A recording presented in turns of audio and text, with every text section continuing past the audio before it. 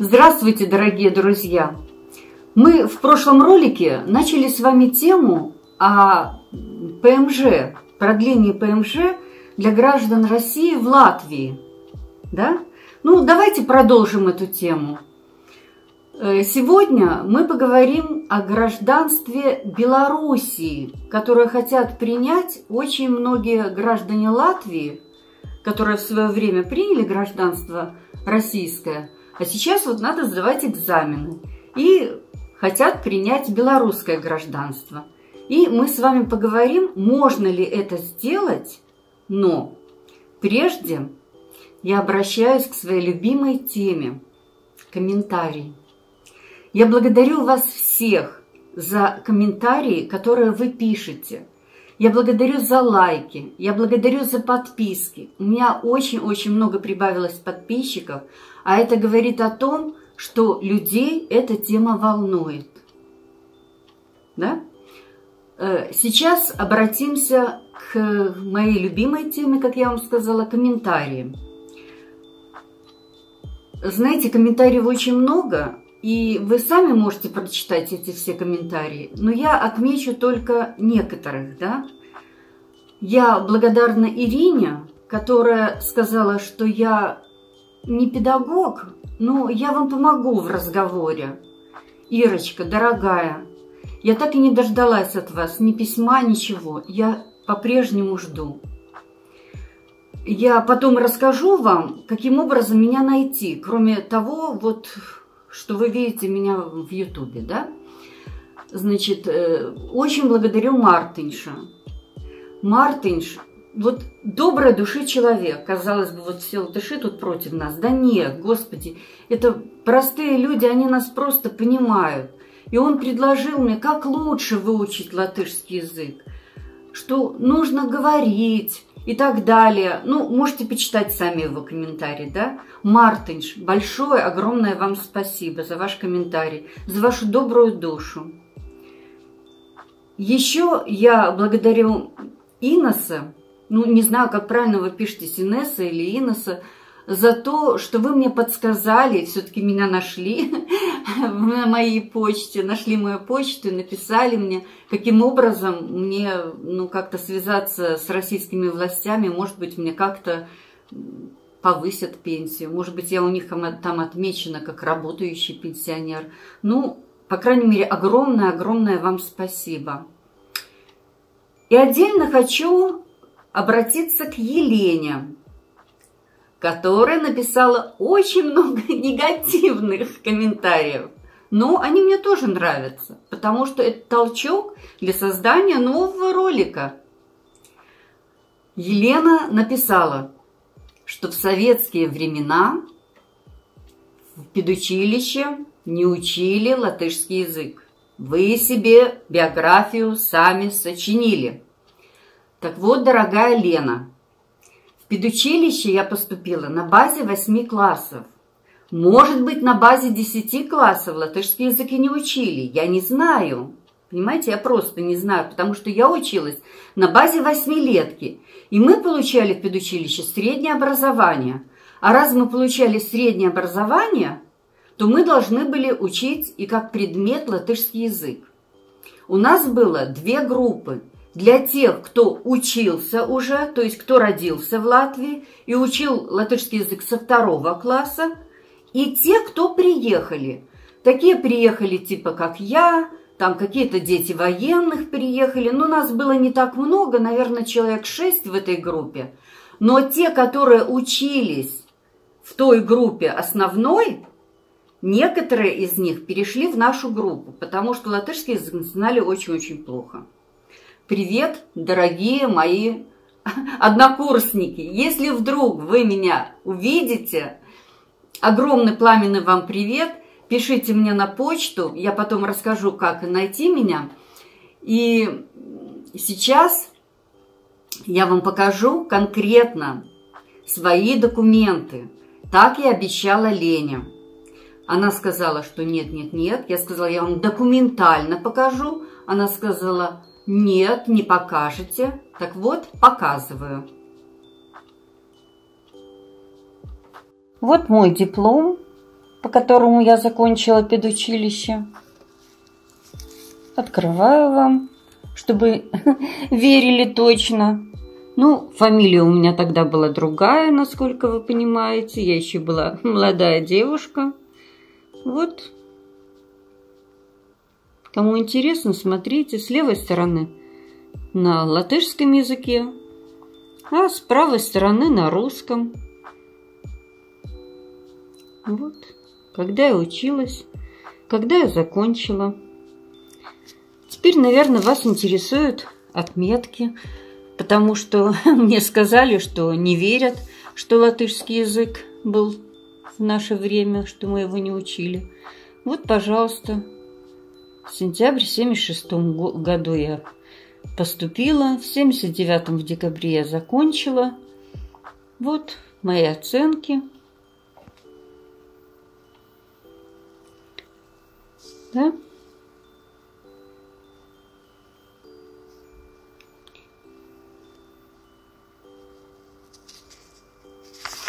Теперь переворачиваю страничку.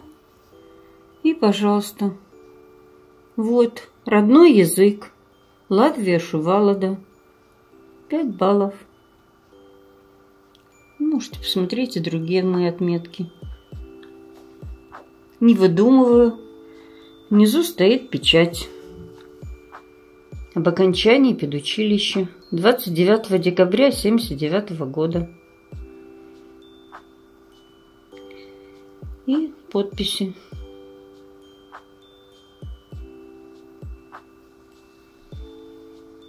Еще Лена сказала, что русских детей в латышские группы брали. Действительно брали.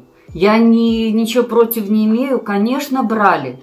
Но в то время, 80-е годы, я закончила в 79 году, в то время устроить ребенка в детский сад было очень-очень трудно. И многие даже мамочки шли работать в детский сад, чтобы устроить своего ребенка в детский сад. Понимаете?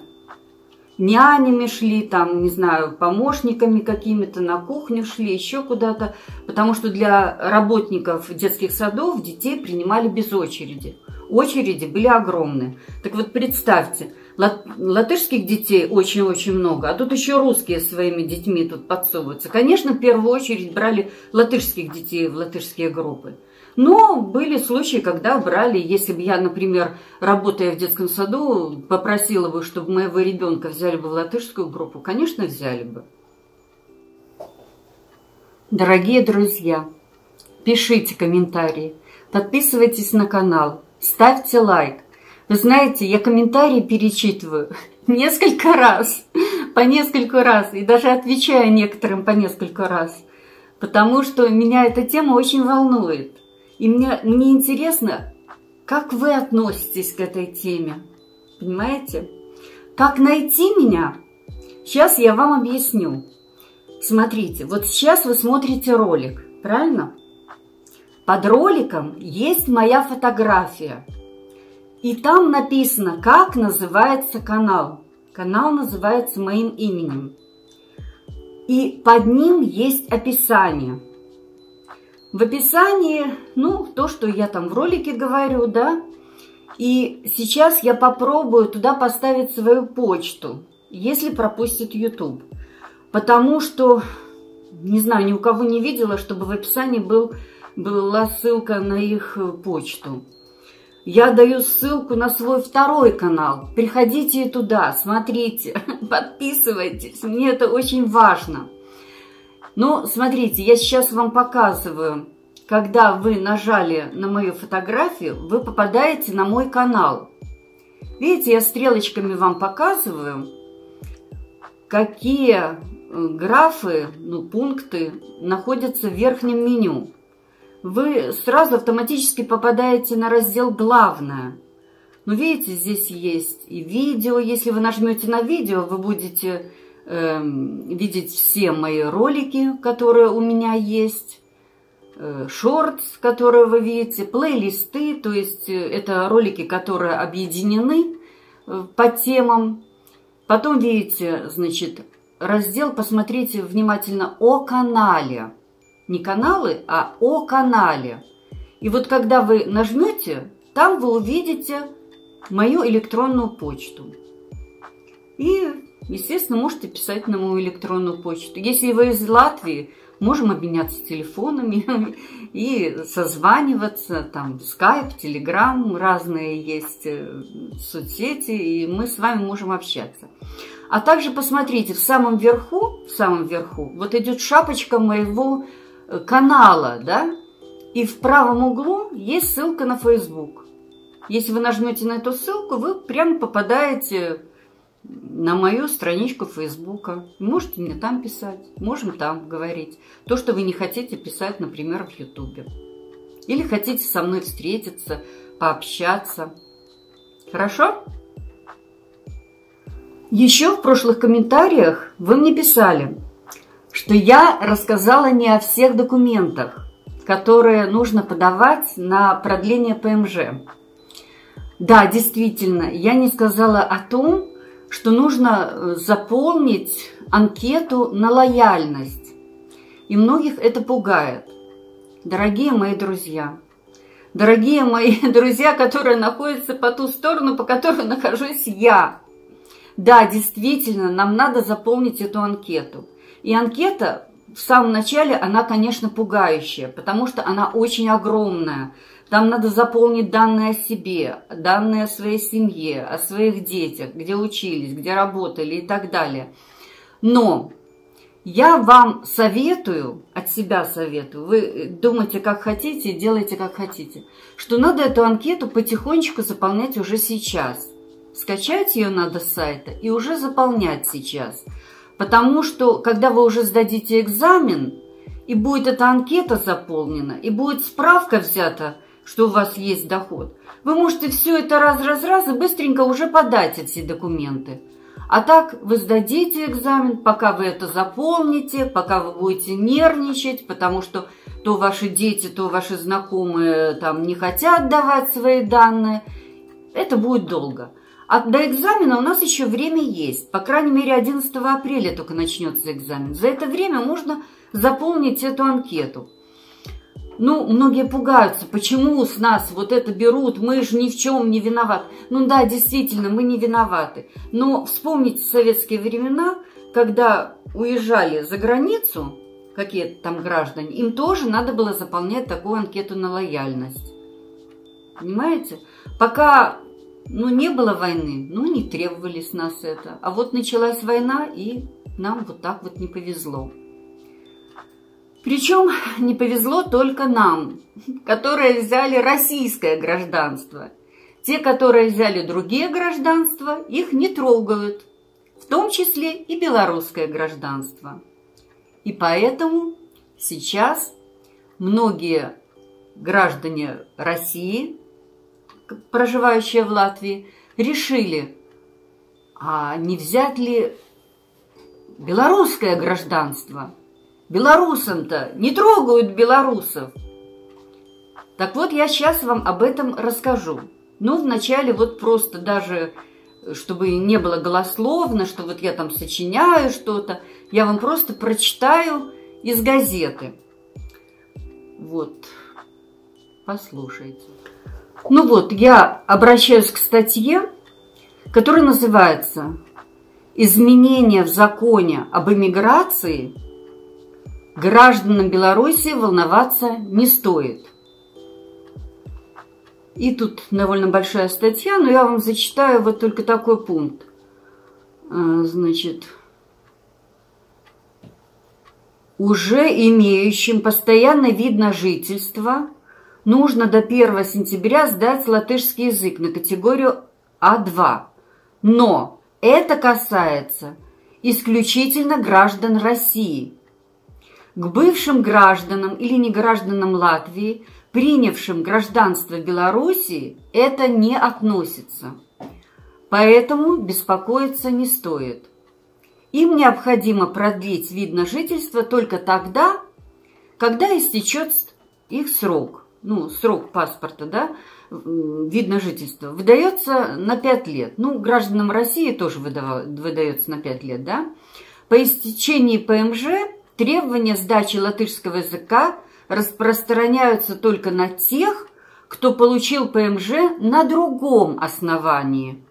Например, если мужья или жены граждан или не граждан Латвии, в случае, если они получили постоянный вид на жительство на основании того, что они были ранее гражданами или не гражданами Латвии, то для них требования не изменились. То есть граждан Белоруссии, проживающих в Латвии, это не касается. Поэтому очень многие решили, а давай-ка я быстренько, быстренько, быстренько возьму гражданство Белоруссии. Что из этого получается? Мы сейчас перейдем с вами к другой статье. Статья называется «Можно ли поменять гражданство, чтобы не сдавать языковой экзамен на ПМЖ?» Слушайте внимательно. Гражданам Республики Беларусь экзамен по латышскому языку для получения вида на жительство сдавать не нужно. И поэтому читатели интересуются, возможно ли получить гражданство Республики Беларусь гражданам России, проживающим в Латвии. То есть поменять гражданство России на гражданство Белоруссии. Вот. И вот что отвечает генеральный консул Республики Беларусь Даугавпилсе Илья Викторович Лапуть. Значит, ему задают вопрос, возможно ли получить гражданство Республики Беларусь гражданам э, России, проживающим в Латвии и желающим здесь остаться, жить. При каких условиях? Что отвечает э, вот этот Лапуть? В нашем национальном законодательстве действительно предусмотрена возможность подачи заявления о приеме в гражданство Республики Беларусь, в посольстве или консульские, э, в посольство или консульские учреждения. Однако это могут сделать только определенная категория лиц, которые постоянно проживают за границей. А именно, белорусы, а также лица, идентифицирующие себя как белорусы, и их потомки, кровные родственники по прямой линии, дети, внуки и правнуки. Далее, иностранцы, имеющие выдающиеся заслуги перед Республикой Беларусь, высокие э, достижения в области науки и так далее, да? Нас это не касается. Третье. Иностранцы, ранее состоявшие в белорусском гражданстве. Можно вернуться. Если человек не относится к вышеперечисленным категориям, существует возможность обратиться с заявлением о приобретении гражданства по другим основаниям, переехав на постоянное жительство в нашу страну, ну то есть Беларусь.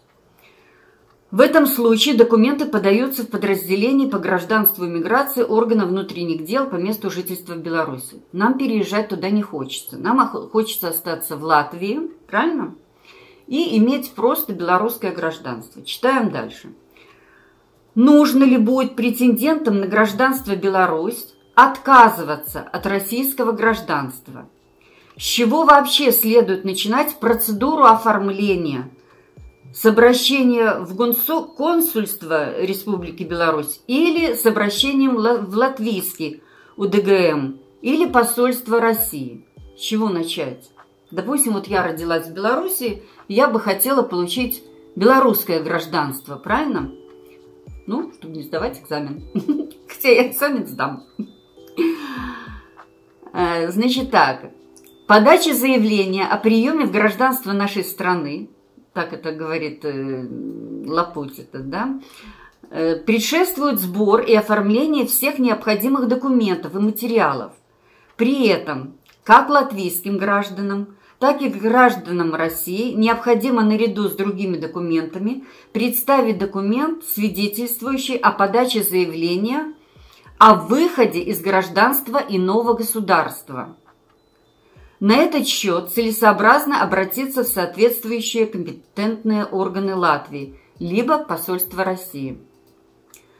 Какова пошаговая процедура подачи документов? Что нужно переводить? Для каких документов нужно нотариальное заверение? Начинать необходимо со сбора документов и их оформления. Перечень размещен на их сайте. Да? На документах, выданных компетентными органами Латвии, должен быть предоставлен апостиль.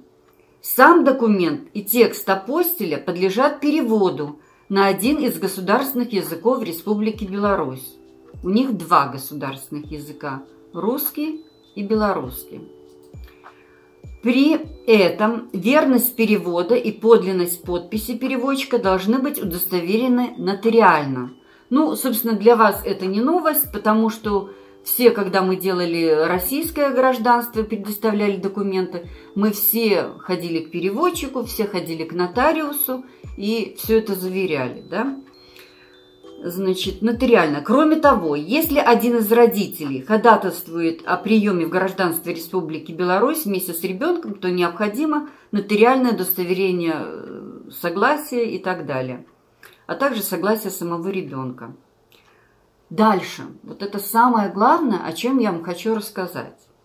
Сколько по времени занимает вся эта процедура? От подачи заявления – до получения паспорта Республики Беларусь. Вот это внимательно слушайте, кого это волнует. Срок рассмотрения заявления о приеме в гражданстве Республики Беларусь с даты его подачи не превышает одного года. В случае принятия положительного решения нужно будет обратиться с заявлением о выдаче паспорта гражданина Республики Беларусь. Срок осуществления данной процедуры составляет один месяц без учета необходимого для пересылки документов. Казалось бы, ну прекрасно, за месяц давайте-ка сделаем и будем гражданами Беларуси. Сколько нужно заплатить непосредственно за консульские услуги? Размер консульского сбора за рассмотрение, значит, 70 евро, там, ну, разные я думаю, вас это не интересует, потому что мы сейчас пойдем дальше. Какие права и обязанности будут у гражданина Республики Беларусь, постоянного, постоянно проживающего за рубежом? То есть это мы, мы же за рубежом проживаем. В прошлом году на республиканском референдуме принята и вступила в силу новая Конституция Республики Беларусь. Все основные права и обязанности граждан закреплены в ней – если мы говорим о правах и обязанностях граждан э, Беларуси в Латвии, то здесь нужно учитывать законы и требования латвийских властей. Со, сторон, со своей стороны генконсульство э, осуществляет защиту интересов наших граждан в Латвии в рамках Венской конференции 1963 года. Это говорит нам белорус. Дальше вопрос у него такой, к нему такой. Скажите, пожалуйста, увеличилось ли за последние полгода количество обращений в консульство по поводу получения гражданства Беларусь? Много людей звонит, интересуется этим вопросом, но, внимательно, когда узнают, что процедура оформления гражданства Беларусь, Республики Беларусь занимает год, расстраиваются. Многим нужно срочно. Но ускорение процедуры не предусматривает белорусское законодательство. Так что, увы и ах, гражданство Республики Беларусь вы принять можете на будущее, но сейчас, чтобы вас освободили от э, сдачи экзамена, вы уже не успеваете. Увы. И еще хочу вам из, из одной статьи прочитать просто маленькую-маленькую фразочку, которую сказал сопредседатель Национального объединения депутат Сейма Равис Дзинтерс. Слава Богу, они хотя бы стали понимать, что не все граждане э, России виноваты в этой войне и виноваты вот э, в этой всей заварухе, так скажем. Вот он пишет. Я тоже считаю, что нельзя обвинять каждого российского гражданина за то, что делает Путин. Но нужно осознать, что граждане РФ в целом – это категория риска. И латвийскому государству следует действовать соответственно. Вот то, что мы с вами заполняем документы на лояльность, это мы доказываем, что мы не причастны, что мы не представляем ни, никакую угрозу Латвии. Нам дайте дожить, дожить уже эти годы, потому что в основном граждане России, проживающие в Латвии, это в основном пенсионеры, люди уже очень пожилого возраста. В следующий раз я вам расскажу, как, как я учу латышский язык, какими способами, какими методами. Вы поделитесь своими мыслями, поделитесь своим опытом, как вы учите латышский язык, как вы его повторяете, как вы разговариваете. Но я вам только единственное могу сказать на прощание. Ну, я, правда, очень жду ваших комментариев, подписок и так далее. Это я вам уже еще раз повторяю. Но хочу вам сказать, что простые латыши, они вообще нас не обязаны учить латышскому языку. Они не обязаны. Так же, как мы не обязаны их учить, но они учат. И они практически все говорят на русском языке. Этим самым они нас избаловали, конечно. Но вот смотрите, мы, мы начинаем говорить тогда, когда заходим в магазин, подходим к кассе, и там С, МС, ТС, да? а ей надо обслужить очередь, да? Поэтому она говорит с вами на том языке, на котором понятно и вам, и ей. Вы говорите, ну вот, она не говорит со мной по-латышски.